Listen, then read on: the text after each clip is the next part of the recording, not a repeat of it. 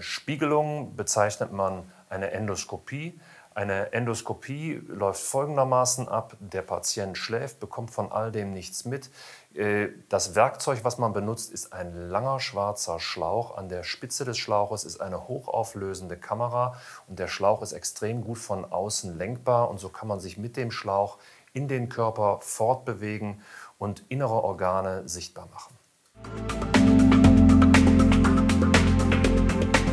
Meistens wird mit der Endoskopie die Speiseröhre, der Magen und der Dickdarm untersucht. Wir können aber auch bei speziellen Fragestellungen den gesamten Dünndarm einsehen. Und sehr häufig auch mittlerweile werden wir angefragt für Untersuchungen der Gallenwege. Man kann also auch über die Gallenwege in die Leber gehen mit einem Miniaturendoskop und dort die Organe sichtbar machen.